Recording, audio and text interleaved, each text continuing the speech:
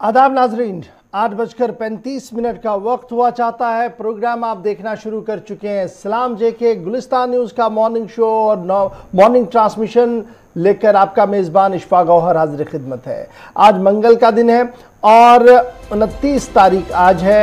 और आज के दिन के हवाले से जहाँ सबसे पहले हम गुफ्तु करेंगे प्रोग्राम के आगाज़ में, वहीं पर उसके फ़ौर बाद ख़बरों का पिटारा खोलेंगे, यानी ख़बरों पर आएँगे, तजिया तबसरा करेंगे और आज कुछ अहम बातें आपके साथ हम जब शेयर करने जा रहे हैं, उनमें आज दो बड़ी बातें होंगी। एक सयाहत के हवाले से गुफ्तु होनी है उसमें क्या कुछ बेहतरी के आसार नुमाया हो रहे हैं, उस पर गुफ्तु करेंगे। और साथ साथ आज लेफ्टिनेंट गवर्नर साहब की सदारत में क्या कुछ होने जा रहा है और उस पर रद्दमल क्या है, उस पर गुफ्तु करेंगे। दिल्ली की सियासत क्या कुछ कह रही है? क्योंकि माना जा रहा है कि रवा हफ़्ते हफ़्ते से अगले हफ़्ते तक अब वीवीआईपी का दौरा भारत है। उस दौरा भारत को किस तरीके से देखा जा रहा है? पाकिस्तान की सियासत पर भी गुफ्तु करेंगे। तीसरे पड़ाव पर आएँगे, नौ बजकर चालीस मिनट पर आप और हम गुफ्तु करेंगे। फ़ोन लाइन हमारी खुल जाएँगी। बरह रास्त नशरियात में आप अपनी आवाज़ को बुलंद करते हुए, अपने मसाइल को हल कराने के लिए हुकूमत तक अपनी बात को पहुँचाने की कोशिश करेंगे। इसके साथ साथ याद रखिएगा कि टीवी पर तो आप हमें देख रहे हैं। अगर आप चाय की चुस्कियाँ लेने के बाद सफ़र के लिए निकले हैं, दफ्तर के लिए निकले हैं तो याद रखिएगा आप कैसे हमारे साथ ज्वाइन करेंगे तो फेसबुक ट्विटर इंस्टाग्राम के साथ साथ आप यूट्यूब की नशियात को हमारे साथ देखेंगे लाइव स्ट्रीम पर आकर वहाँ पर हमारे साथ ज्वाइन कर सकते हैं। आप हमारी वेबसाइट www.gulistannews.in पर लॉग इन सब्सक्राइब और शेयर ज़रूर कीजिएगा ताकि आने वाले दिनों में भी जो कुछ भी अहम छोटी बड़ी खबर होगी, उससे आप बाखबर भी रहेंगे और जब आप उसे शेयर करेंगे तो दुनिया भर तक जम्मू कश्मीर के असल हालात और हकाइक भी जाएँगे। यानी अब आपकी आवाज़ और आपकी आराओं के मुताबिक आज के प्रोग्राम का पिटारा खोल देते हैं। दिल्ली स्टेडियो में इस वक्त मेरे साथ गौहर कुछ मौजूद है और सबसे पहले प्रोग्राम का आगाज़ करेंगे माजी में उनतीस तारीख को क्या कुछ हुआ था। उन लंबी फिरस्त की कहानियों में से चंद बातें आपके सामने रखेंगे गौहर कुछ।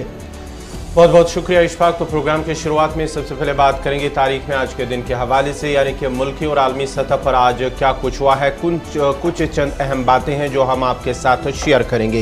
यानी कि आज उनतीस मार्च है और आज ही के दिन क्या कुछ हुआ, वो हमको बताएँगे।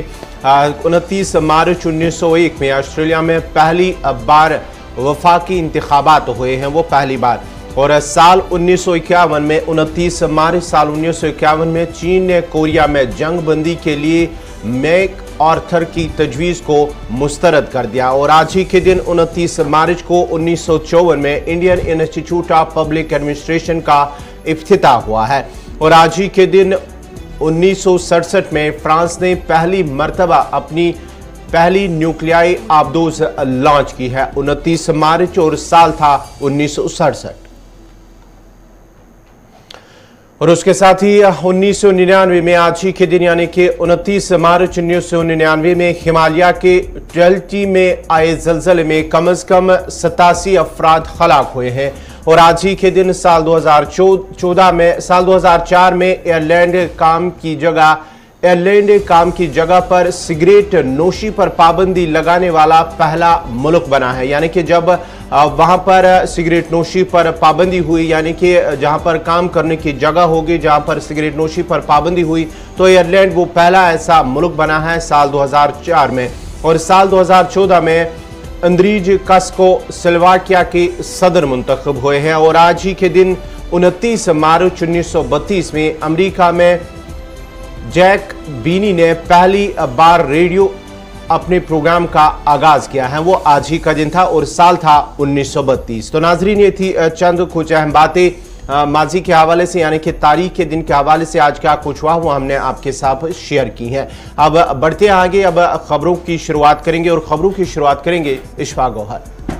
चलिए जनाब, आज खबरों का पिटारा खोल देते हैं और बात करते हैं लेफ्टिनेंट गवर्नर साहब की मसरूफियात के हवाले से। जी हाँ नाजरीन, आज का दिन लेफ्टिनेंट गवर्नर साहब के लिए इंतहाई मसरूफ दिन रह सकता है, क्योंकि तय शेड्यूल और फॉर्मेट के मुताबिक आज जम्मू कश्मीर के सभी मुंतखबा नुमाइंदों के साथ लेफ्टिनेंट गवर्नर मुलाकात करने जा रहे हैं। हाई लेवल मीटिंग का इनका किया गया है और इस मीटिंग के दौरान जहाँ इंतजामिया के बड़े अफसर मौजूद रहेंगे, वहीं पर डीडीसी चेयरपर्सन को भी बुलाया गया है। PRI representative entire union territory को आज मधु किया गया है। और ये कहा, कैसे होगा? वीडियो कॉन्फ्रेंसिंग के ज़रिए वर्चुअल मोड पर इस पूरी मीटिंग को लेने का फैसला लिया गया है। और ये उस वक्त फैसला लिया गया है जब अब सिर्फ़ चंद दिनों के अंदर अंदर नए माली साल पर काम शुरू होना है। नेक्स्ट फाइनेंशियल ईयर 2022-23 के लिए जो बजट हमारे सामने है, उसमें कैसे आगे बढ़ा जाए, क्या टारगेट्स लिए जाए, एक तो एजेंडा ये भी है। खबर यह भी है कि मौजूदा माली साल, यानी 21-22 का जो अब सिर्फ़ चंद घंटे बाकी है, इसमें खबर यह है कि एक कसीर रकम 30 से 40 फ़ीसदी मोहतात अंदाजे का बजट जो है जो डीडीसी के पास था वो यूटिलाइज ही नहीं हुआ है वो ब, वो बचत हो जाएगा क्योंकि लगातार मीटिंग्स और मशावरत के बावजूद भी कोई पहल इस पर नहीं हुई है। तो आज मीटिंग होनी है हाई लेवल मीटिंग है और इस मीटिंग के अंदर जहाँ लेफ्टिनेंट गवर्नर साहब मौजूद रहेंगे वहीं पर एडमिनिस्ट्रेशन के बड़े जिम्मेदारों को भी इस मीटिंग के अंदर मौजूद रहने की बात कही गई है। सुबह 10 बजे से शाम 4 बजे तक लेफ्टिनेंट गवर्नर आज वीडियो कॉन्फ्रेंसिंग के ज़रिए से सभी पीआरआईज की बात को सुनेंगे रिप्रेजेंटेटिव्स की बात को सुनेंगे और मुस्तकबिल के प्रोग्राम को आगे बढ़ाने की कोशिश की जाएगी। इधर इस मीटिंग से कबल ही कई अहम और बुनियादी सवाल उठाए गए हैं और सवाल उठाए हैं बीडीसीज डीडीसीज और पीआरआईज ने, जिनका मानना है कि अब बहुत सारा वक्त चला गया है। थोड़े से वक्त में इंतबात दोबारा होने हैं, लेकिन जिस तरीके से इंतजामिया का रद अमल है, वो अफसोसनाक है। सीधे चलेंगे जी हमारे साथ। अनिल शर्मा जी ज्वाइन करेंगे। प्रेसिडेंट पंचायत कॉन्फ्रेंस के ज्वाइन करेंगे थोड़ी देर में। डॉक्टर हरबख्श सिंह साहब डीडीसी मेंबर है। ये हमारे साथ ज्वाइन कर चुके हैं और शफीक मीर साहब हमारे साथ ज्वाइन करेंगे। तीन अलग अलग वॉइस आपके सामने रखने की कोशिश कर रहा हूँ। पहले, सबसे पहले डॉक्टर हरबख्श सिंह साहब बहुत बहुत शुक्रिया। चूँकि आप भी मुंतबा नुमाइंदे हैं। और आज एलजी साहब की तवील मसरूफियात जो है वो आप लोगों के साथ रहनी है। कहा जा रहा है कि सुबह दस बजे मीटिंग शुरू होगी, चार बजे तक ये इजलास चलेगा। बुनियादी मामला जो है कि पी आर आईज को और मज़बूत कैसे किया जाए, बजट एलोकेशन जो नहीं है, इस पर किस तरीके से काम किया जाए, और आने वाले दिनों में प्रोग्रामों को कैसे हतमी शक्ल दी जाए, किस तरीके से आप इस प्रोग्राम को देखते हैं? अशफाक साहब शुक्रिया आपने मुझे मौका दिया इस बड़े सेंसिटिव टॉपिक पे बात करने की। पहली तो बात है कि जिस तरह से हमें ये पीआरआई सिस्टम को ले रहे हैं बड़ा लाइटली ले रहे हैं और ये आ, अपनी मर्ज़ी के कल साढ़े बारह बजे के करीब फरमान हुआ ग्रुप में एक चिट्ठी आई हमें कि भाई कल इस टाइम पे हाजिर हो जाना है। लेकिन अगर हम चार दिन पाँच दिन दो दिन पहले कोई प्रोग्राम देते हैं जो पब्लिक प्रोग्राम हमारे होते हैं या कहीं डेवलपमेंटल प्रोग्राम होता है तो हमें सिक्योरिटी के नाम पे मना कर दिया जाता है। नहीं जी हालात यहाँ के ठीक नहीं है। लेकिन जिस दिन अपना प्रोग्राम करना होता है उस दिन अगर हम बोलेंगे हमें गाड़ी नहीं है तो कहते गाड़ी भी भेज देंगे। हम कहेंगे आ, हमें सेहत ठीक नहीं है कहते हैं डॉक्टर भी भेज देंगे। लेकिन आपको पहुँचना है। और सबसे बड़ी बात है जी कि जो सीरियसनेस की बात कह रहे हो कि आ, ये जो वर्चुअल कॉन्फ्रेंस ये कर रहे हैं आज हमारे साथ आप हर डिस्ट्रिक्ट में 40 से 50 परसेंट बजट जो है इस वक्त जो वो एग्जॉस्ट ही नहीं हुआ है। मैं पुलवामा की बात करूँगा, डेढ़ करोड़ रुपया हमारा पीआरआई में हमने रखा था। उसमें कोई इनको इंटरनल प्रॉब्लम थी रेट कंट्रैक्ट में वो कुछ महँगी लाइटें खरीद गई थी तो डिपार्टमेंट ने एक इंक्वायरी शुरू की। आज तक तीन महीने हो गए इंक्वायरी रिपोर्ट ना ना बताया गया, ना उसमें कोई इनिशिएटिव लिया गया। डेढ़ करोड़ रुपए की लाइटें पेंडिंग पड़ी हुई है पुलवामा डिस्ट्रिक्ट में। और इसके लिए वर्चुअल कॉन्फ्रेंस है और ये स्कीमों के नाम बताना मुझे इसमें कोई फ़ायदा नहीं लग रहा है। जो ग्राउंड सिचुएशन है ग्राउंड रियलिटी है इज़ अ फेलियर और जो एडमिनिस्ट्रेटिव फेलियर है, ये कहीं भी कुछ नहीं कर पा रहे हैं। आज लास्ट की बिले हैं। आज देखो जड़ी जो वीडियो ऑफ़िस है या बाकी ऑफ़िस है, बिलों का मामला है और आज आपने एक दिन और खा लिया इसमें। क्योंकि आज सारी तैयारियाँ तामझाम गवर्नर साहब की वर्चुअल कॉन्फ्रेंस और करोड़ों रुपए का ठेकेदारों की बिलें रह गई और जो काम करने थे वो रह गए। टीआरआई सिस्टम को जो कागजों पे बताया जा रहा है, उतना ही है। उसमें कोई पेशरफ नहीं है। बड़ी एरोगेंस है एडमिनिस्ट्रेटिव लेवल पे। आज हमें त्राल में एक जगह आईएसएम का एक प्रोग्राम था मिनिस्ट्रियल लेवल का। चार दिन पहले हमने रिक्वेस्ट दी थी, मना कर दिया गया। नहीं जी, नहीं जा सकते। आज सिर्फ़ और सिर्फ़ आपने गवर्नर साहब को सुनना है। ये मजबूरी है, सुनना है। तो आप डॉक्टर खबर ये भी है कि बजट एलोकेशन जो रवा साल का था जिसमें अब सिर्फ़ चंद दिन बचे हैं उसमें भी एक कसीर रकम है जिस पर काम नहीं हो पाया है और वो लैप्स हो सकती है। मैं वही तो अशफाक साहब कह रहा हूँ चालीस परसेंट चालीस से पैंतालीस पचास परसेंट के करीब रकम जो है वो सर्फ नहीं हुई है कहीं पे टेंडर ही नहीं हुए हैं। अभी समझ ही नहीं सिस्टम आ रहा है जो एडमिनिस्ट्रेशन है जो हमारा टीआरआई का इंस्टीट्यूट है, जो एक आरडीडी जो पेरेंट डिपार्टमेंट हम कहते हैं, उनतीस डिपार्टमेंटों ने अपना बजट सबमिट करना होता है कैपेक्स काउंसिल को। आज तक हमें बिल्कुल नहीं पता है और एक नोटिस निकाल दी गई है।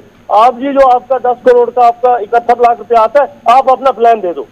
और जो उनतीस डिपार्टमेंटों का प्लान आज तक ना काउंसिल को दिखाया गया, और जो भी काम, जो कैपेक्स जो जो काउंसिल को आने चाहिए जो पीआरआई सिस्टम की बात कर रहे हैं वो कहीं रूट थ्रू नहीं हो रहा है। कोई भी डिपार्टमेंट ऑनर नहीं कर रहा है काउंसिलों को। तो डॉक्टर साहब ये तो बड़ा अच्छा मौका है ना कि आप ये शिकायत लेफ्टिनेंट गवर्नर साहब के सामने रखें तो हल हो जाए साहब, बजाय ये कि रुकने के अशफाक साहब अशफाक साहब वहाँ वहाँ गिने चुने लोग जिनको शाम को फ़ीड किया जाता है कुछ लोग उनको शाम को ही डिक्टेशन दी जाती है डीसी साहिबान की तरफ़ से और उनको जिनको सुबह बोलना है। और जो जो क्रिटिसिज्म करेगा हेल्दी क्रिटिसिज्म जो तनकीद बराए तामीर करेगा, उसको बोलने की वहाँ इजाज़त ही नहीं होती। उसको फिर अगले अगले पंद्रह दिन तक अपने एरिया में एसएसपी साहिबान जाने ही नहीं देंगे। जो आज इनको सही बात बोलेगा। तो दिस इज़ आईवाश आप गिन के दे दीजिए, मैं आज ही बता दूँगा कि पुलवामा में किसको बोलने की इजाज़त होगी, कुपवाड़ा में बोलने की इजाज़त किसको होगी। दिस प्लान प्लांटेड गेम नहीं जबकि साहब ये कह रहे हैं कि मैं जनाब पूरा दिन सुनूँगा जी सबको सुनूँगा सुबह दस बजे से शाम चार बजे तक बैठूँगा सुनूँगा। तो कबल वक्त ये बताना कि जनाब किसी को बोलने की इजाज़त नहीं होगी। ये नहीं लग रहा कि ये शायद कहीं कम्युनिकेशन गैप है या कुछ और भी है इसमें? साहब मैं आपको कह रहा हूँ कि आप शाम को रिज़ल्ट जितने भी लोग वर्चुअल में होंगे आप शाम को उनसे फीडबैक पाँच का पाँच आता है, उसमें ले लीजिए, वो खुद ही बता देंगे कि कितनी सीरियस इन और सीरियसनेस तब होती है जब हमारे पास कहीं प्लान हो। ये सरकारी स्कीमों की बात करते हैं। जब कहीं प्रोग्राम स्कीमों का तो हमें जाने की इजाज़त नहीं होती। हमें वहाँ जाने नहीं देते। एडीडीसी और जो बाकी लोग उनके बैठे होते हैं, वो वहाँ पे इनाग्रेशन कर रहे हैं। हमारे प्रोजेक्टों की इनाग्रेशन नरेगा मनरेगा है। मनरेगा की इनाग्रेशन एडीडीसी कर रहे हैं। ये बातें बताने की है, ये सिर्फ़ आई वॉश है, ये नेशनल लेवल पे बताया जाता है कि हमने सिस्टम को किया सिस्टम क्यों का तू है, पैसा खर्च नहीं हो रहा है। सिर्फ़ कागजों पे बहुत बहुत शुक्रिया जी डॉक्टर हरबख्श सिंह साहब डीडीसी रुकन है जी जिला पुलवामा से साउथ कश्मीर से। अब जरा चलते हैं जम्मू सूबे की और वहाँ से बात करते हैं शफीक मीर साहब हमारे साथ ज्वाइन कर चुके हैं। शफीक मीर साहब बहुत बहुत शुक्रिया सर ज्वाइन करने के लिए। आ, काफ़ी तवील जदोजहद आपकी रही कि पंचायती राज निज़ाम को मुतारफ कराया जाए इसको थ्री टायर सिस्टम पर लाया जाए और काफ़ी मुश्किलों के बाद काफ़ी अड़चनों के बाद ये सारा कुछ निज़ाम हमारे सामने है। आज एलजी साहब पूरा दिन वक्त कर रहे हैं आप लोगों के साथ। किस तरीके से आप आज की निशस्त को देख रहे हैं और जो डॉक्टर बख्श सिंह साहब कह रहे हैं कि ऑल इज़ आई वॉज़ जी, बाकी जिन्होंने जो करना है वही होता है, किसी की बात सुनी नहीं जा रही है। आपका एक्सपीरियंस क्योंकि आप पहले दिन से इस पूरे जदोजहद के साथ जुड़े हुए हैं। देखिए, अशफाक साहब, जहाँ तक मेरे एक्सपीरियंस की बात है, सबसे पहले हमारे साथी डॉक्टर हरबख्श जो त्राल से बोल रहे थे मैं सेंट परसेंट उनके हर लफ्ज की जो है लफ्ज ब लफ्ज तायद करता हूँ। ये बिल्कुल एक आईवाश बन के रह गया है। ये बिल्कुल ये जो प्रोग्राम है आज की डेट में, जिस तरीके से डॉक्टर साहब ने बताया है, हर जिला के अंदर एक एक आदमी को वहाँ पर या दो दो लोगों को ब्रेन वॉश करके जो है एडमिनिस्ट्रेशन ने रेडी करके रखा हुआ है। कि आपने ये बोलना है, आपने ये बोलना है, ये चार लाइनें आपने बोलनी है, ये चार लाइनें आपने बोलनी है। बल्कि बुलाया भी गया है उन्हीं लोगों को। ये पूरे तरीके से मैं बताऊँ कि एक आई वाश है। अब आप देखिए, जैसे डॉक्टर साहब ने कहा है, अरे 40 परसेंट बजट आपके दो दिन रह गए, आपके गुजश्ता साल का बजट जो है वो तो खर्च ही नहीं हुआ। अब वो खर्च क्यों नहीं हुआ? आपने इस किस्म के मसाइल में ब्यूरोक्रेटिक मसाइल में टेंडरिंग प्रोसेस के अंदर सिस्टम को उलझा के रखा। आपके टेंडर ही जो है, आखिरी महीने लास्ट के महीने तक जो है, आपका टेंडरिंग प्रोसेस ही कंप्लीट नहीं हुआ। तो नतीजा यह निकला कि आपका 50 परसेंट बजट जो है, वो अनस्पेंट वापस चला गया।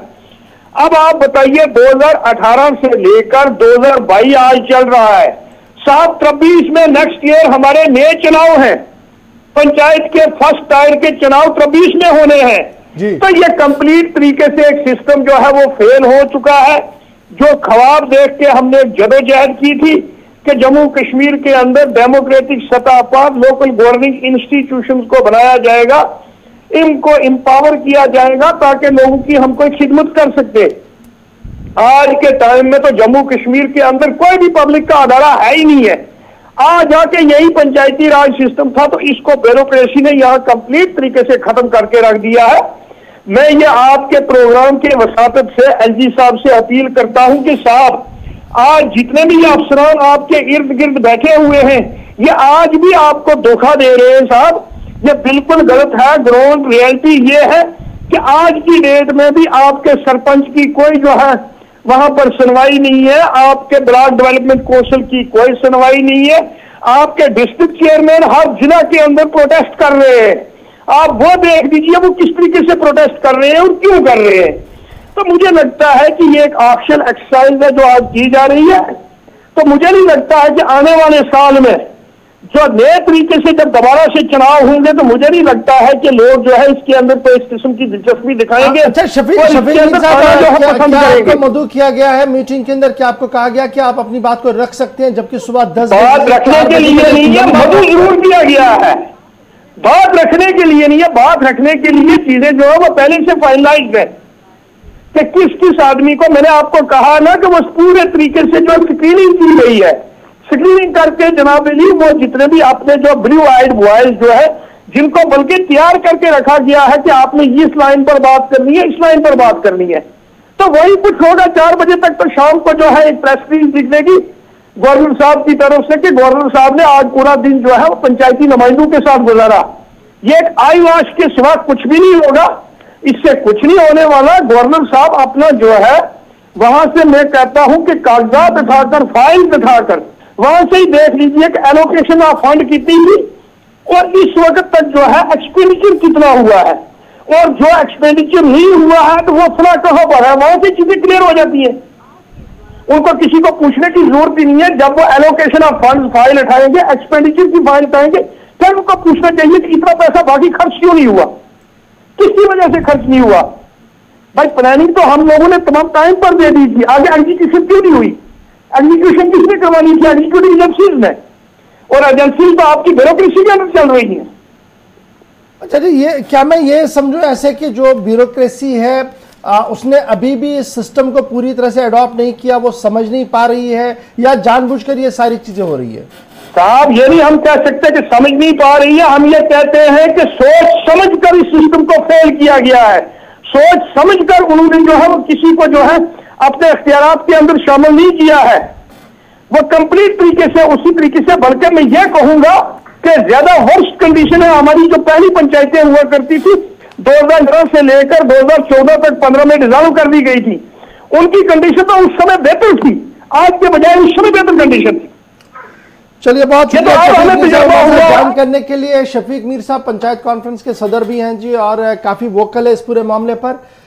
यानी आवाज़ चाहे जम्मू से हो, चाहे कश्मीर से हो, आवाज़ यही है कि एलजी साहब मिशन तो बहुत अच्छा है, मीटिंग का भी सिलसिला बहुत अच्छा है, लेकिन अगर सबको बोलने की इजाज़त नहीं है तो फिर 10 से 4 तक प्रोग्राम क्यों? एक तो सवाल ये भी है, लेकिन मेरी समझ से ये बाहर है कि कबल वक्त ही मीटिंग पर सवाल क्यों उठ रहे हैं, पहले देखना चाहिए था कि, लेकिन फिर भी लेटेस्ट होप्स कि कुछ बेहतर इसमें निकले, लेकिन फ़िलहाल खबर ये है कि मीटिंग आज होने जा रही है और मीटिंग से पहले ही elected representatives either they are from Jammu province या कश्मीर प्रोविंस से। है दोनों के अंदर नाराज़गी और नाराज़गी के दो अहम बातें मैंने आपके सामने रख दी है। एक और से हमने गुफ्तु करने की कोशिश की थी अनिल शर्मा साहब जो काफ़ी वोकल है प्रेस कॉन्फ्रेंस करते रहते हैं इस पूरे मुद्दे पर उनका फ़ोन इस वक्त जनाब नहीं लग पा रहा है। तो फ़िलहाल बढ़ते हैं जी आगे।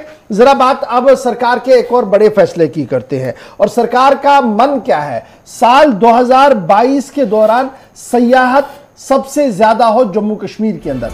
इसको लेकर महकमा सयाहत ने भी कमर कस ली है और महकमा सयाहत की जो कोशिशें हैं माजी में, वो अब आज और मुस्तकबिल के अंदर रंग लाती हुई नज़र आ रही है। फ़िलहाल खबर यह है कि चीफ सेक्रेटरी की सरबराही में आला सती मीटिंग मुनद हुई, जिसके अंदर महकमा सयाहत से मुंसलिक सीनियर मोस्ट अफसरों को यह हिदायतनामा जारी कर दिया गया कि वो आने वाले एक महीने के अंदर अंदर एक रोड मैप को तैयार करें कि किस तरीके से हम सयाहत को और ज़्यादा प्रमोट कर सकते हैं और सयाहों को और ज़्यादा चीज़ें जो है वो देखने को मिल सकती है। हमारे पास जो एदाद शुमार है वो ये है कि 225 टूरिस्ट डेस्टिनेशंस ऐसी हैं जिन्हें प्रमोट करने की बात इस बार सयाहत महकमे ने हाथ में ली है, जिनमें कुछ हेरिटेज साइट्स है और कुछ मजहबी साइट्स है। यानी मज़हब के नाम पर, यानी जो जिस तरीके से हम पूरे खत्े को देखते हैं, जम्मू और कश्मीर को देखते हैं तो सयाहत का एक बड़ा फैक्टर हमारा क्या है? माता वैष्णो देवी। सयाहत का हमारा बड़ा फैक्टर क्या है जी? जो मजहबी मकाम हमारे यहाँ वहाँ पर जो लोग देखने आते हैं, अपनी आस्था के साथ, अपनी श्रद्धा के साथ जो लोग आ रहे हैं वहाँ पर, एक तो वो भी है। और दूसरा जो हमारा हेरिटेज है, माजी में जो हमारे हाथ में है हेरिटेज साइट्स जो है, वहाँ भी प्रमोट करने की ज़रूरत है। उसके साथ साथ ये भी बात सामने आ रही है कि तकरीबन 75 ऑफ़ भी ट्रैकिंग रूट्स को आइडेंटिफाई किया जा रहा है। यानी ट्रैकिंग को बड़े पैमाने पर अब लिया जाएगा, क्योंकि ट्रैकिंग को लेकर आपको याद होगा कि ये वो लोग ट्रैकिंग करते हैं जो हाई एंड टूरिस्ट होते हैं और उनके आने से काफ़ी कुछ चीज़ें जो है वो बदलती है, क्योंकि वो ग्राउंड पर चलते रहते हैं और दस तरह का एक्सप्लोर करते रहते हैं। तो अभी बड़ी खबर ये है कि इस बार सयाहों को सिर्फ़ गुलमर्ग, पहलगाम अफरवट देखने को नहीं मिलेगा, बल्कि कोशिश की जा रही है कि मजीद डेस्टिनेशन जो है, मजीद जगहें जो है, तकरीबन 225 टूरिस्ट डेस्टिनेशन जो है, वो इस प्रमोशन लिस्ट में आए और यही वजह है कि जनाब चीफ सेक्रेटरी साहब ने कहा कि एक मुकम्मल खाका जो है, वो खींचा जाए जी, एक हफ़्ते, एक महीने के अंदर अंदर दिया जाए, ताकि उसको हम नेशनल और इंटरनेशनल लेवल पर प्रमोट भी कर सके। सीधे चलेंगे श्रीनगर, जहाँ से हमारे साथ director सयाहत doctor G N Yatoo sahab इस वक्त फ़ोन लाइन पर ज्वाइन किए हुए हैं। बहुत बहुत शुक्रिया डॉक्टर यत्तू साहब ज्वाइन करने के लिए वक्त निकालने के लिए हमारे नाजरीन के लिए पूरे मुल्क के अंदर जो इस ट्रांसमिशन को देख रहे हैं। खबर यह है कि सयाहत के आ, को लेकर हुकूमत काफ़ी संजीदा है और इस बार नई टूरिस्ट डेस्टिनेशन को लेने की बात कही जा रही है और 225 की फिगर सामने आ रही है। किस हद तक हम इसको तस्दीक कर पाएँगे आपसे कि क्या ये सही खबर है और ये जो नई डेस्टिनेशन आनी है ये एंटायर जम्मू कश्मीर में है कहाँ कहाँ पर होनी है ये? एक्चुअली जैसे कि जान, आप जानते हैं कि आज़ादी का अमृत महोत्सव जो लास्ट ईयर 2021 में हमने जो है टूरिज़्म डिपार्टमेंट ने डिसीज़न लिया था under the direction of honourable L G की seventy five of the destination जो है हम आइडेंटिफाई करेंगे टूरिज़्म डिपार्टमेंट ने ये वो डेस्टिनेशन है जो अदरवाइज़ पहले ही टूरिज़्म मैप पे थी, लेकिन इनको, इनके टूरिज़्म पोटेंशियल के हिसाब से इनको उतना ज़्यादा प्रमोट नहीं किया गया था, इनको ज़्यादा पब्लिसाइज नहीं किया गया था। और ये वो जगह है जो बिल्कुल टूरिस्ट के लिए एक नया एक्सपीरियंस एक नया अनुभव उनके लिए जो है फराहम कर सकती है। और ये वो डेस्टिनेशन है जो बिल्कुल दूर दराज इलाकों में है, गाँव में है, जहाँ रूरल टूरिज़्म का काफ़ी अच्छा स्कोप है। इसमें से 75 में से 38 डेस्टिनेशन वो है जो यहाँ कश्मीर डिवीज़न में है और थर्टी सेवन जो है वो जम्मू डिवीज़न में है। जैसे आप देखेंगे गुरेज इसमें से एक है। इसी तरीके से एक हमारी जो दलपत्री है यूसमाग है कोकरनाग है वेरीनाग है सिंथन है या इसी तरीके से सोनमार्ग वगैरह है। और जम्मू में भी अगर आप देखेंगे राजौरी साइड में है पुनश में है या हमारा वहाँ पे बनी बसोरी जहाँ पे काफ़ी अच्छा टूरिज़्म का स्कोप है। ये वही जगह है जिनको आइडेंटिफाई किया गया है। इसके अलावा बाकी डिपार्टमेंट्स में जो कि टूरिज़्म एडमिनिस्ट्रेटिव डिपार्टमेंट के अंदर ही आती है, जैसे 75 हेरिटेज साइटें हमारी हैं आर्कियोलॉजिकल साइट्स उनको आइडेंटिफाई किया जिसमें हमारे फोर्ट्स हैं। या इसी तरीके से जो है श्राइनस जो आपने खुद ही बताया कि हमारे यहाँ पिलग्रिमेज टूरिज़्म का काफ़ी ज़बरदस्त स्कोप है। तो 75 जो श्राइनस आइडेंटिफाई किए गए हैं, उसमें डिपार्टमेंट ऑफ़ कल्चर के ज़रिए से जो है फंडिंग होनी है। और इसकी जहाँ तक टूरिज़्म की seventy five of the destination का सवाल है, ये लास्ट ईयर ही जो है प्लानिंग स्टार्ट की गई थी कि इसमें क्या क्या चीज़ें करने की ज़रूरत है, जहाँ वहाँ इन जगहों पे इंफ्रास्ट्रक्चर को इम्प्रूव किया जाए। अगर वहाँ पे कहीं पे जो है सड़क की ज़रूरत हो, कहीं पे पानी की ज़रूरत हो, या कहीं पे जो है कुछ नई एक्टिविटीज़ एडवेंचर एक्टिविटीज़ स्टार्ट करनी हो, यहाँ अगर कहीं पे वहाँ एकोमोडेशन अवेलेबल नहीं है तो किस तरह की एकोमोडेशन देखिए होनी चाहिए, जो कि एनवायरमेंट के हिसाब से ठीक रहेगा तो वो सारी प्लानिंग जो है लास्ट ईयर कंप्लीट हो चुकी थी और और ऑनरेबल एलजी साहब ने और वो भी चीफ सेक्रेटरी साहब ने उसमें जो है बार बार रिव्यू भी कर लिया है। और अभी आज जो डायरेक्शन हमारे पास आ गए है कल ही गवर्नमेंट की तरफ़ से कि जब हम नया प्लान अभी 2022 से इसका बनाएँगे, उसमें बाकी चीज़ों को भी देख करके, लेकिन ये जो सेवेंटी फाइव डेस्टिनेशन है, चाहे वो टूरिज़्म की हूँ हेरिटेज के हों या इसी तरीके से श्राइन सेवेंटी फाइव हों, उनको जो है प्रयाति देनी है और वहाँ वहाँ जो फैसिलिटीज़ टूरिस्ट के लिए रखनी है। तो उनको प्रियारिटी पे जो है वो डालना है। अच्छा जी डॉक्टर साहब बड़ा इंपॉर्टेंट है। इसमें एक फैक्टर टूरिज़्म का है जो डायरेक्टली टूरिज़्म डिपार्टमेंट कंट्रोल करता है। एक फैक्टर है जो आसार कदीमा वाला है और एक फैक्टर जो हमारा है जहाँ पर श्राइन बोर्ड कहीं पर होगा और कहीं पर वक्फ बोर्ड की मुदाखलत होगी। तो क्या मैं ये मानूं कि इस बार ये सारे अंडर वन अम्ब्रेला काम करेंगे ताकि ये प्रमोशन हो? क्योंकि अक्सर देखा गया है कि डिपार्टमेंटल कोऑर्डिनेशन फेलियर की वजह से फिर सयाहों को भी कई बार मायूसी होती है।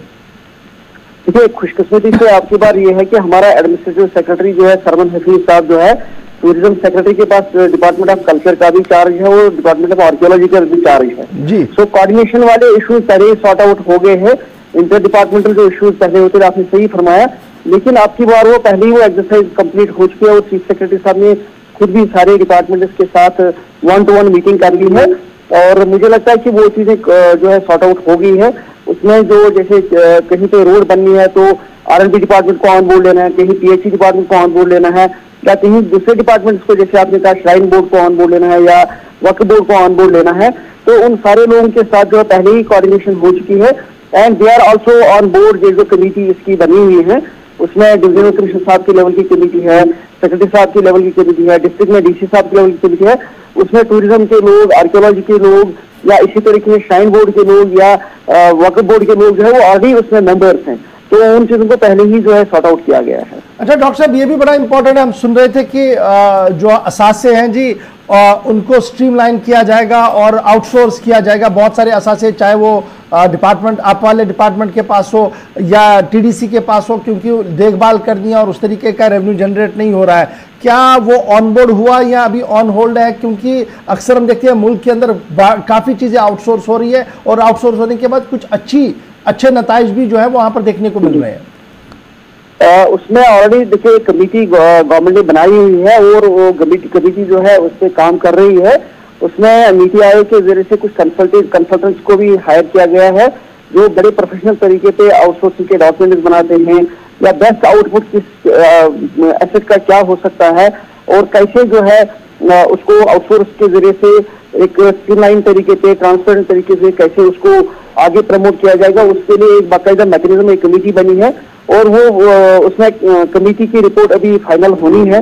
तो मूवमेंट कंसल्टेशन प्रोसेस कंप्लीट हो जाएगा, उसके बाद ही उसको जो है लॉजिकल कंक्लूजन तक ले लिया जाएगा। अच्छा डॉक्टर साहब क्या हम तैयार हैं? क्योंकि अब कोविड रेस्ट्रिक्शंस हट गई हैं बैन अवी परवाजों का शुरू शुरुआत भी हो गई है तो कितना तैयार है महकमा सयाहत इस्तकबाल के लिए फॉरेन टूरिस्ट के लिए और क्या कोई उम्मीद है कि इस बार वस्त तक जून जुलाई तक सयाहों की आमद के हवाले से?